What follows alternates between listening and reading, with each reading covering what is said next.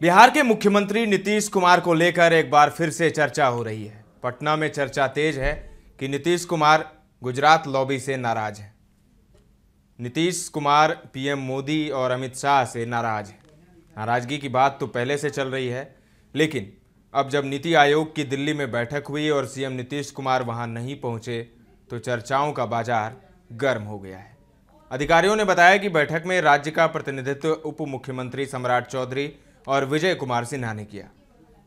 नीतीश कुमार के इस महत्वपूर्ण बैठक से अनुपस्थित रहने का कारण अभी पता नहीं चल सका है। हालाँकि यह पहली बार नहीं है कि मुख्यमंत्री नीतीश कुमार नीति आयोग की बैठक में शामिल नहीं हो रहे हैं। सीएम नीतीश पहले भी इस तरह की बैठक में शामिल नहीं हुए थे और बिहार का प्रतिनिधित्व तत्कालीन डिप्टी सीएम ने ही किया था। जेडीयू प्रवक्ता नीरज कुमार ने न्यूज़ एजेंसी पीटीआई भाषा को बताया कि इस बार भी दोनों डिप्टी सीएम बैठक में शामिल होने गए थे। इसके अलावा बिहार से चार केंद्रीय मंत्री भी आयोग के सदस्य हैं और वे बैठक में मौजूद रहेंगे। उन्होंने कहा कि नीतीश कुमार बैठक में क्यों शामिल नहीं हुए, इस पर अभी कुछ नहीं कहा जा सकता।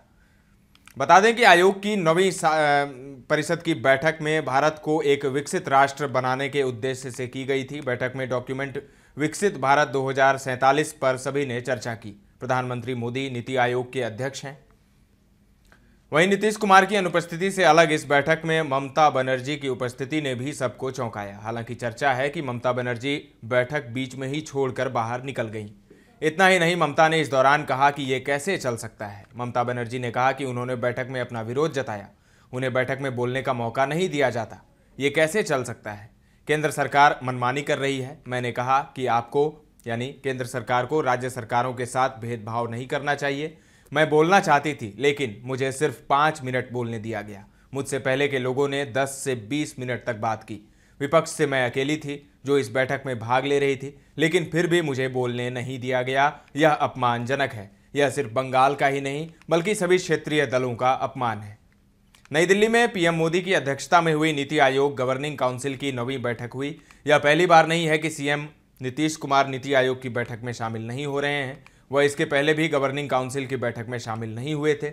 बीजेपी सांसद और केंद्रीय मंत्री संजय सेठ ने कहा, हमें जानकारी नहीं है कि नीतीश कुमार क्यों नहीं आए। एनडीए की मुट्ठी बंद है, एनडीए मज़बूत है। तो क्या सचमुच एनडीए मज़बूत है?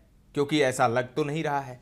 नीतीश की एक नहीं, दो डिमांड है जो मोदी पूरा नहीं कर रहे। मोदी सरकार ने देश की संसद में लिखित में जवाब दे दिया कि बिहार को विशेष राज्य का दर्जा नहीं मिल पाएगा। इसके बाद सीएम नीतीश ने बिहार विधानसभा में कहा कि बिहार को विशेष पैकेज दिलवाने के लिए वो लगे हुए हैं। आरक्षण के दायरे को पैंसठ प्रतिशत करने वाले कानून को संविधान की नवी अनुसूची में शामिल करवाना है। ये डिमांड भी ऐसी है जिसे मोदी जी शायद पूरा नहीं कर सकते। और ऐसा ही चलता रहा तो नीतीश का मन डोल भी सकता है। और शायद इसीलिए मोदी के चाणक्य अमित शाह ने उसका भी प्लान बना लिया है। नीतीश के प्रिय अधिकारी संजीव हंस की गर्दन ईडी ने पकड़ रखी है। और नीतीश को कहा गया है कि आपने झारखंड और दिल्ली में देखा है क्या हुआ है। तो समझ लीजिए, आपके साथ भी हो सकता है जिस तरीके से झारखंड के मुख्यमंत्री जेल चले गए, दिल्ली के मुख्यमंत्री केजरीवाल जेल चले गए, उसी तरह बिहार के मुख्यमंत्री नीतीश कुमार भी अगर जेल चले जाएँ तो कोई अचरज की बात नहीं होगी। और जिस तरीके से नीतीश के अधिकारी संजीव हंस पर ईडी का शिकंजा कस गया है, और कहा जाता है कि संजीव हंस के तार कई जेडीयू के नेता, कई अधिकारियों से जुड़े हुए हैं। तो आप समझ सकते हैं जब ईडी ने संजीव हंस की गर्दन पकड़ी है तो हाथ नीतीश के गिरेबान तक भी पहुँच सकता है। तो अब नीतीश क्या करेंगे, ये देखने वाली बात होगी। अभी भले ही नीतीश कुछ ना करें, लेकिन एक महीने, दो महीने या छः महीने बाद नीतीश कुछ कर सकते हैं क्योंकि नीतीश मौके का इंतज़ार कर रहे हैं। नीतीश सही समय का इंतज़ार कर रहे हैं और वो सही समय जल्दी ही आने वाला है। क्योंकि महाराष्ट्र, झारखंड और हरियाणा में विधानसभा चुनाव होने वाले हैं और तीनों ही जगह बीजेपी की स्थिति अच्छी नहीं है। और वहाँ अगर हार मिलती है, महाराष्ट्र में अगर हार मिलती है, झारखंड में हार मिल जाती है, या फिर तीन में से दो जगह बीजेपी हार जाती है कहीं भी तो फिर नीतीश के लिए वो सही समय होगा। और नीतीश इस बार सिर्फ़ पलटने भर से नहीं मानने वाले, क्योंकि नीतीश को कुछ बड़ा करना है। नीतीश को ये को ये मालूम है कि वो अगर एनडीए का साथ छोड़ भी देते हैं तो भी मोदी की सरकार बची रहेगी। मोदी की सरकार पर आँच नहीं आएगी।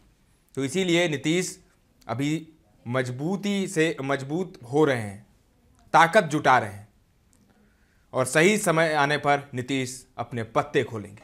तो तब तक के लिए इंतज़ार करते रहिए, क्योंकि क्लाइमेक्स अभी बाकी है। तमाम अपडेट्स आपको देते रहेंगे। बने रहें दर्श न्यूज़ के साथ।